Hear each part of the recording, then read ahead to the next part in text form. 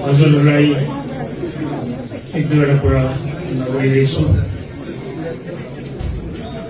खै कहाँबाट सुरु गरौँ कति भनौँ अन्यलतामा छु। धेरैजनाको रुने आदत हुन्छ रुइदिन्छन्। मेरो आदत छैन रुने यो मेरो गल्ती होइन। तर चोट मनमा लागेको हुन्छ।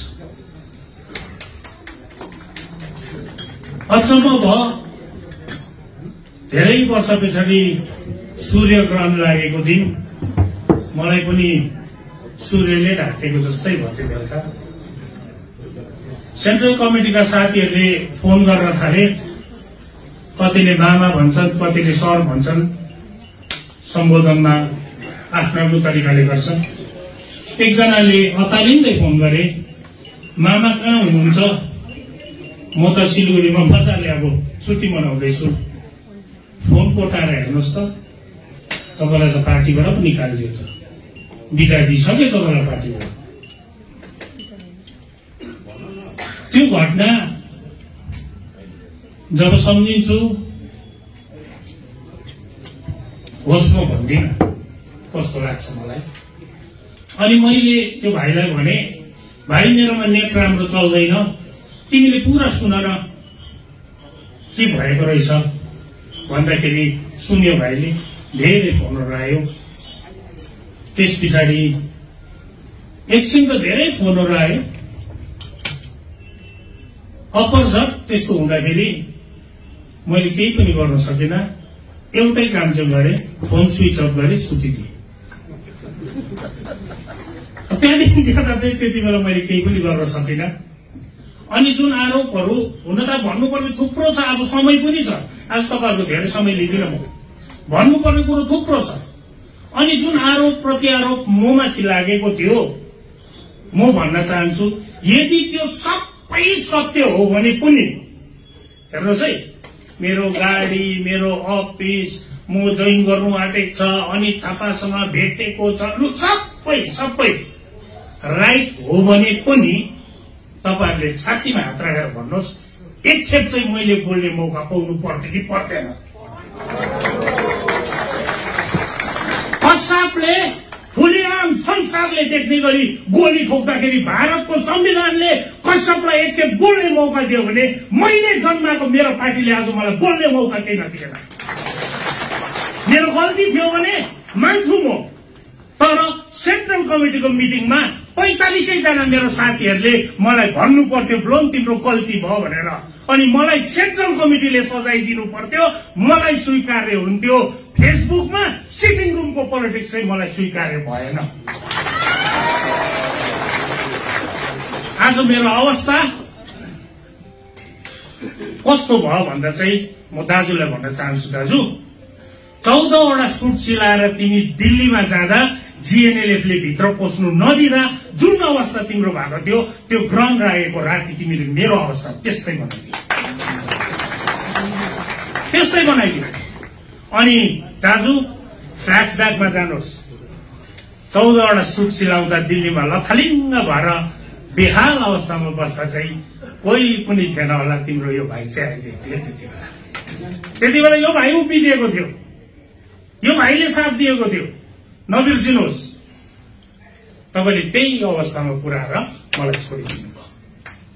मलाई छोडिदिनु भयो। आज भन्नु हुँदैछ अरे हस्पासमा त घर घेर्छु भन्नु हुँदै थियो। नघेर्नुहोस्।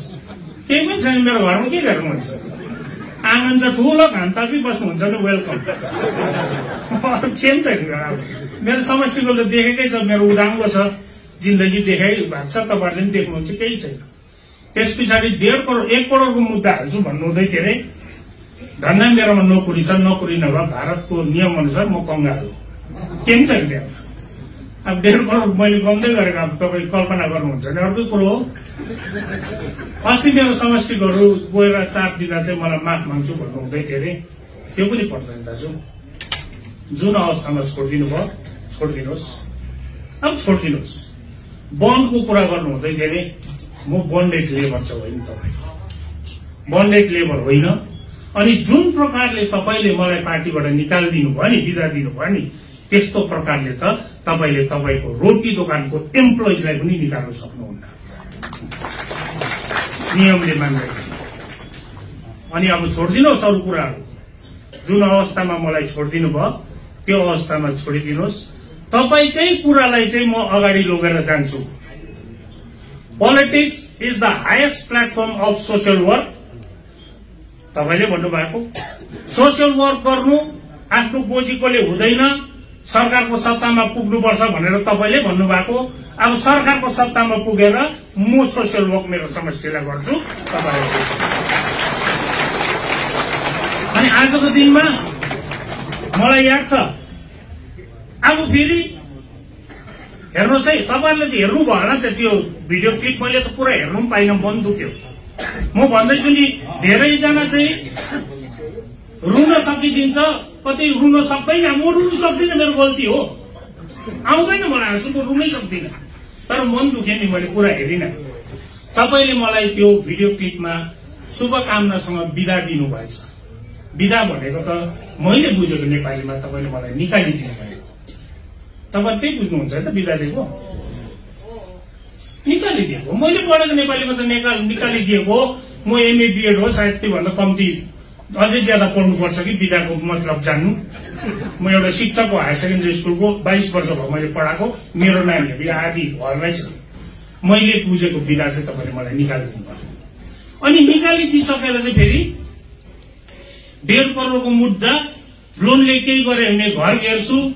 त्यो चाहिँ दाजु बुढीलाई डिभोर्स दिइसकेर अर्कोसँग बिहा गरिस् भने चाहिँ रद्दी गरिदिन्छु भनेर। तपाईँले जुन दिन निकालिदिनु भयो होइन र? मैले बुझेको है। हाम्रो पत्रकार दाजुहरूले अस्ति दिन खोज्दै थियो मलाई। सिलगढीमा पुरै खोज्यो यहाँ खोज्यो एक दुई दिन पर्खिनुहोस् भनेको एक कारण हो नि। पर्खिनुहोस् न मजा आउँछ नि। अब तपाईँले जुन दिन मलाई छोडिदिनु भयो त्यो दिनदेखि नियम अनुसार म इन्डिपेन्डेन्ट सभासद भए हो किन भन्नुहोस् त? इन्डिपेन्डेन्ट भएपछि मैले हेर्नुहोस् है आज भन्छु। सिलगढीमै थिएँ। सबै सिलगढीमा म चार पाँच दिन बसे। मैले सिलगढीमै भारतीय गोर्खा प्रजातान्त्रिक मोर्चामा समर्थन गरेर फर्केको भए चाहिँ मलाई कसको बाउले के गर्थे? केही त गर्थेन रिसाउने एक दुई दिन रिसाउँथ्यो होला। म फकाउँछु नि म। तर त्यसो गरिन दाजु। तपाईँले जस्तो गरिन सिटिङ रुमको पोलिटिक्स।